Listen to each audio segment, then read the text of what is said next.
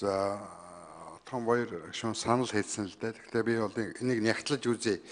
Эрчим хүчний үн тарифыг хуулиар бий даасан байгууллага зохицуулах хороо тогтоож тэгээ аймагуудад энэ эрчим хүчний үнийг бас дулааны үнэдрийг тогтоодог зөвлөл ажилдаг. Энэ зөвлөлийг мэрэгжил арга зүйн удирдлагаар хангаж ажилдаг юм хороо байдгийг.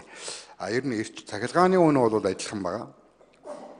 Бүх аймагт. Дулааны үл бол нүүрснийхээ тээврийн зай, за зарим аймаг төвлөрсөн халаалттай, зарим аймаг юу байгаа олон уурын зуухаар халуулж байгаа гэдэг араа өөр өөр байдаг.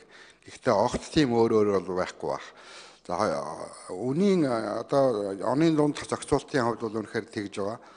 Энэ жил эрчим хүчний хууль 6 сард шинжлэгдээд энэ хуулийн одоо хүрээнд эрчим хүчний үн тарифтын 7 сарын 25-наас бол өөрчлөлт гарсан. Цахилгааны үн дулааны үлд нэмэгдсэнтэй холбогдоод энэ төсвийн байгууллагууд дээр бол ийм асуудал гарч ирж байгаа. Энийг бол зайлшгүй бас ярьж хийдэх ёстой.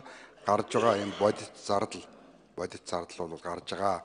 Төсвийн байнгын хорооны хилцүүлгээр энэ он дуустал энэ зөрүүг яах вэ гэдэг дээр бол ярих л ёстой асуудлаа гэж бодож байна.